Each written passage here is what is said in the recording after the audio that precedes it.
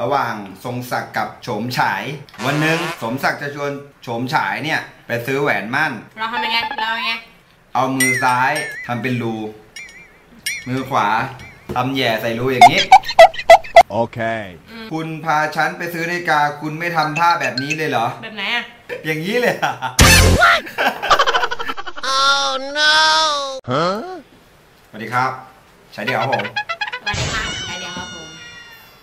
วันนี้เรามีสปอนเซอร์ด้วยนะ สปอนเซอร์ น้องนี่ไงสปอนเซอร์ สปอนเซอร์ สปอนเซอร์จากน้องนี่ไง วันนี้เราจะมาเล่าเรื่องตลก แล้วก็กิน KFC ไปด้วย น้อง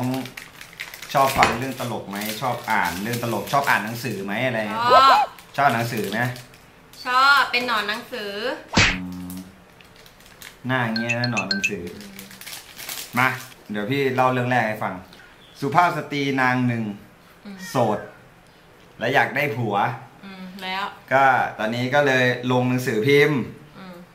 ประกาศหาผู้ชายในฝันนะฮะอืม แต่ละคนที่จะเข้ามาเป็นแฟนเขาเนี่ยเขาจะมีข้อแม้ อืม เขาพิมพ์เป็นหัวข้อหัวข้อไว้ ข้อแม้ผู้ชายที่จะมาเป็นแฟนของเขาต้องมีข้อดีอะไรบ้างหนึ่ง หากมีเรื่องทะเลาะเบาะแว้งกัน ขอให้พูดจาดีๆ อย่าลงไม้ลงมือใครพูดสองผู้หญิงคนยังเหรอเอออันนี้คือข้อแม้คนที่จะมาเป็นแฟน อืมอืมข้อ2จะต้องไม่จากไปไหน จะอยู่เคียงข้างกัน ร่วมทุกข์ร่วมสุขด้วยกัน ข้อ3ต้องเต็มร้อยในเรื่องบนเตียงนี่หลังจากประกาศได้อยู่หลายวัน ไม่มีใครติดต่อมาเลยนะอืม จนถัดไปอีกประมาณอีก2-3อาทิตย์เนี่ยก็มีคนมาเคาะประตูเว้ยพอผู้หญิงคนนั้นอะที่ได้ประกาศข่าวไปไปเปิดประตูใช่ปะก็เจอผู้ชายคนหนึ่งนั่งอยู่บนรถเข็น แขนขาด้วน หน้าตาน่าสงสาร ผู้หญิงคนนั้นก็ตกใจใช่ไหมก็เลยถามว่ามาหาใครคะอืมผู้ชายคนพิการคนนั้น ก็เลยตอบว่ามาหาคุณครับ Huh? ผู้หญิงก็บอกว่ามีอะไรให้ช่วยไหมคะเออ คนพิการนั้นก็เลยบอกว่า คือผมเห็นประกาศในหนังสือพิมพ์ครับ ผมก็เลยคิดว่าผมมีคุณสมบัติครบถ้วนตามที่คุณต้องการ Okay. อ่าผู้หญิงก็เลยบอกว่า คุณมีคุณสมบัติครบถ้วนยังไงครับ คนพิการก็เลยบอกว่าข้อหนึ่งที่คุณบอกว่าห้ามผู้ชายตบตีหรือว่าลงไม้ลงมือ ผมบอกผมไม่ตบไม่ตีคุณแน่ เพราะผมไม่มีมือไม่มีแขนไม่มีขา ข้อสองที่คุณบอกว่าจะต้องรักคุณและไม่ทอดทิ้งคุณไปไหน อืมผมทำได้แน่นอน ผมไม่ทอดทิ้งคุณไปไหนแน่นอน เพราะผมก็ไม่มีขาเดินไปไหนข้อสุดท้ายนะ สงสัยมากที่สุดเลย แล้วเรื่องบนเตียงล่ะคะ ก็คุณพิการคุณไม่มีแขนไม่มีขา แล้วคุณจะทำตามข้อ 3 ได้ไง คนพิการที่เขาะประตูก็เลยถามผู้หญิงคนนั้นกลับว่า แล้วคุณคิดดูสิว่าผมใช้อะไรเคาะอืมใช่ค่ะแต่คิดดีๆว่ามันใช้อะไรเคาะเขาไม่มีให้หัวเคาะ เขาอาจจะใช้หัวอย่างอื่นก็ได้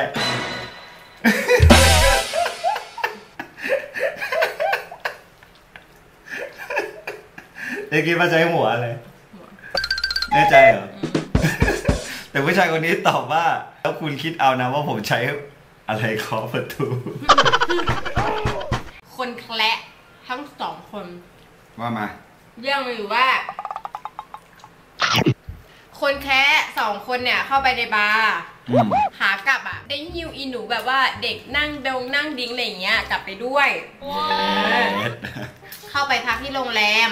ซึ่งห้องสองห้องเนี้ยก็คือติดกันอ่า Okay. นอนติดกันเลย เออ ห้องติดกันเลยสองห้อง อ่า แล้วเสร็จปรากฏว่าหนุ่มคนแค่คนที่หนึ่งอะ ผิดหวังมากผิดหวังเพราะ เพราะทำยังไงยังไงนะ น้องชายก็ไม่ยอมลุกขึ้นสักที เออ ก็คือว่าต้องนอนทรมานฟังเสียงครวรครางอะไรอย่างเงี้ยจากห้องเพื่อนข้าง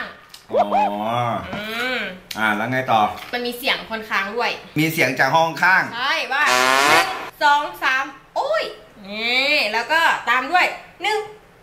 สองสามอุ้ยนี่ เป็นแบบระยะระยะระยะนะคะตลอดทั้งคืนเลยไหมเออได้ยินทั้งคืนเลย แล้วพอตอนเช้านะ เพื่อนสองคนชนแค่สองคนเจอหน้ากัน หนุ่มคนแค่คนที่สองอะก็ถามคนแรกทันทีเลยถามว่า ไงเพื่อนดีไหมเออแล้วตอบไงอันนี้ อีกคนนึงตอบว่าไงที่หนึ่งก็ตอบว่า ดีกับผีอะไรเล่าขายหน้าจังวะทำยังไงทำยังไงอะไรอย่างเงี้ย มันก็ไม่สู้แบบน้องชายไม่สู้อะเอเอออแล้วยังไงคนไข้ที่สองคนแค้ที่สองก็แบบใส่หัวอะไรอย่างเงี้ย เออ แล้วก็บอกว่า แค่นี้ก็รู้สึกขายหน้าแล้วเหรออ่า ข้าน่ะพยายามขึ้นเตียงทั้งคืนเลยยังขึ้นไม่ได้แปลว่าไอเสียงโอ้ยโอ้ยหนึ่งสองสามเนี่ยคืออะไร ขึ้นเตียงไม่ได้ขึ้นเตียงไม่ได้ เรื่องผัวเมียระหว่างทรงศักดิ์กับโฉมฉาย สมศักดิ์กับโฉมฉายอะคบหากันมานาน วันหนึ่งสมศักดิ์จะชวนโฉมฉายเนี่ยไปซื้อแหวนมั่น แต่ไม่กล้าบอกตรงๆ กลัวจะไม่เซอร์ไพรส์ อีกอย่างโฉมฉายเนี่ยก็กำลังคุยกับเพื่อนแบบสนุกสนานเลยอะไรอๆเอย่างอเงี้ยคุยกับเพื่อนๆจะบอกตรงๆ ก็กลัวจะอายเพื่อนอายเรื่องอะไรอายเรื่องว่าจะพาไปซื้อแบบซื้อแหวนมั่นอะไรอย่างเงี้ยแหละอาย ก็เลยตัดสินใจเดินไปใกล้ ๆ แล้วทำไม้ทำมือเป็นภาษาใบ้แล้วเรียกโฉมฉายมาดู ตอนนี้สมศักดิ์ก็เลยเรียกว่าโฉมฉายโฉมฉายโฉมฉาย เราเราทำยังไง เรายังไง เอามือซ้ายทำเป็นรูมือขวา ทำแหย่ใส่รูอย่างนี้ เมื่อโฉมฉายเห็นดังนั้นโฉมฉายทั้งอายทั้งโกรธฉุนไง อืมน่าเกลียดไงคนอื่ฉุนนมองไงอะกำลังนั่งคุยกับเพื่อนอยู่อยู่ดีผัวตัวเองก็มาทำอะไรแบบลักษณะท่าทางอย่างนี้ไง อืมชมชายก็เลยเดินเข้ามาต่อว่าสงศักดิ์คุณทำอะไรของคุณน่ะ ฉันอายนะสงศักดิ์ก็เลยบอกตอบกลับไปว่า คือผมอะจะชวนคุณน่ะ ไปซื้อแหวนมั่นน่ะอืมสมชายบอก อ๋อ คุณจะชวนฉันไปซื้อแหวนมั่นเหรอ นี่ถ้าคุณพาฉันไปซื้อนาฬิกา คุณไม่ทำท่าแบบนี้เลยเหรอแบบไหนอะทำยังไงเหรอ เอามือขวา จูขึ้น อย่างเงี้ยอย่างนี้เหรอ อย่างนี้เลยเหรอถ้าพาไปซื้อนาฬิกาต้องอย่างซื้นี้อนาฬิกาไง ซื้อแหวนมั่นอย่างนี้ใช่ไหม ซื้อนาฬิกาอย่างนี้อืมตลกไหมเนี่ย ถ้าจะเองอะถ้าเขาชวนตัวเองไปซื้อแหวนมั่นหรือนาฬิกาเหรอไปซื้อแหวนมั่นซื้อแหวนมั่นก็อย่างนี้ไงไม่ไม่ทำตามเขาอีกแหวนมั่นก็อย่างนี้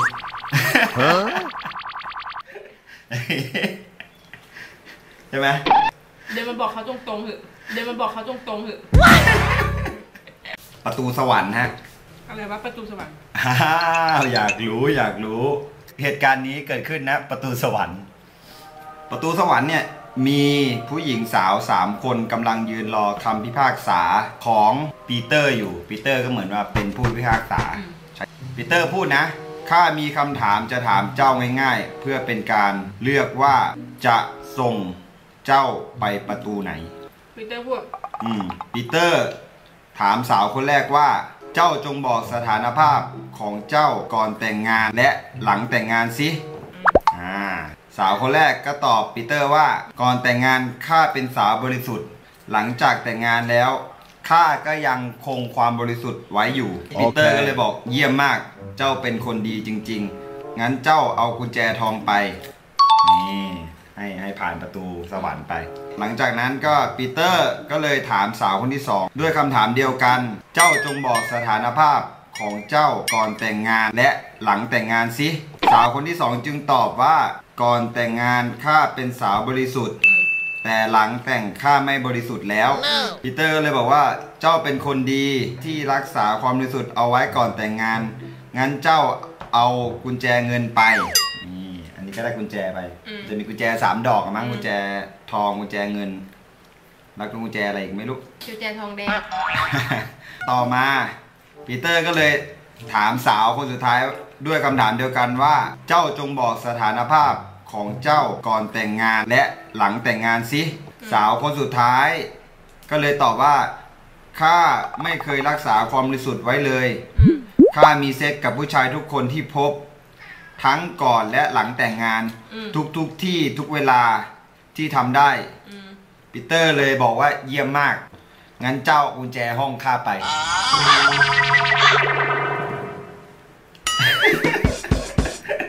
ขำไหมเนี่ย หรือไม่เข้าใจ เข้าใจ เข้าใจว่า เข้าใจว่าไปซ้ำซ้ำซ้ำซ้ำกับปีเตอร์ตลกไหมตลก ตลกกันอยู่สองคนน่ะ ไม่รู้ว่าคนดูตลกด้วยเปล่าอืมแต่ถ้าใครชอบคลิปนี้นะฮะ คลิปแดกไป เล่ามุกแป๊กไป อย่าลืมกดไลค์กดแชร์ให้แชร์เดี๋ยวด้วยนะ เจอกันใหม่ในคลิปหน้าครับ จะเกิดใหม่ในคลิปได้ครับบายบายสวัสดีครับผมคุณตีน